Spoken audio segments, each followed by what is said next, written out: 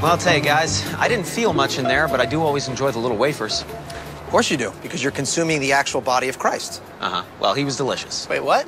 You're eating our Lord and Savior Jesus Christ every Sunday. That's You're telling me that you believe that Christ comes back to life every Sunday in the form of a bowl of crackers, and then you proceed to just eat the man. Correct. So- You consumed his corpse and you drank his blood. That's Good, good, good, good. This is what we're dealing with.